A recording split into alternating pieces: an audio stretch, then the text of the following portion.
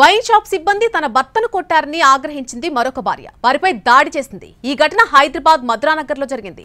ఓ వ్యక్తి మద్యం కొనేందుకు షాప్కు వెళ్ళగా పేమెంట్ విషయంలో మాటామాటా పెరిగి సిబ్బంది అతడి తల పగలగొట్టేశారు. ఇంటికొచ్చిన భర్తను చూసి ఆగ్రహంతో భార్య వైన్ షాప్ వద్దకు వెళ్ళింది. అక్కడ వారిని నిలదీయడం జరిగింది. సిబ్బందిపై దాడి చేసి మందు బాటిల్ను ధ్వంసం చేసింది. దీంతో వైన్ షాప్ సిబ్బందితో పాటు మహిళపై కూడా కేసు నమోదు చేశారు పోలీసులు.